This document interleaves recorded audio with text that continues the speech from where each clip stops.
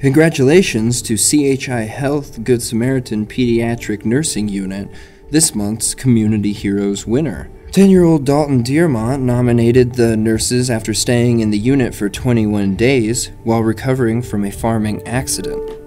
We were gone, and he was do, helping do chores. So we were uh, on our way back from Curtis, Nebraska.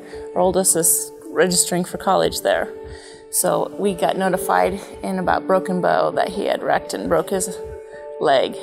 I wrecked an ATV. I was working on the ranch and I turned into a gate and it tipped over.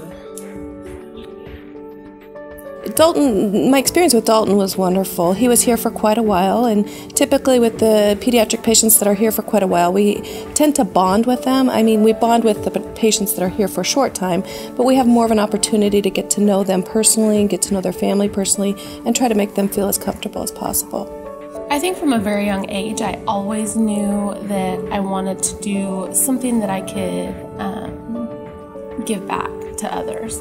Um, I've heard my mom describe me as being very compassionate as a young child and very nurturing, and so um, the field of nursing was perfect, a perfect decision for me. Nursing is, is revolves a lot around caretaking, um, finding out how to connect with patients, how to connect with people, how to make them feel better in a very uncomfortable situation we pull them out of their normal routines. Um, people who come to see us at the hospital, they aren't familiar with things that go on. So we're taking them in a very fragile time of their life and trying to make them feel as comfortable as possible.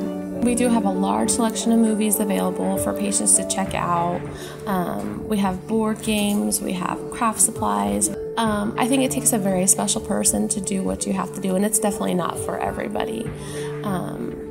You go through incredibly difficult situations with families and you go through um, incredibly rewarding situations with families. Um, but it's not always easy. It's been 18 years. The number of kids that I've taken care of are huge.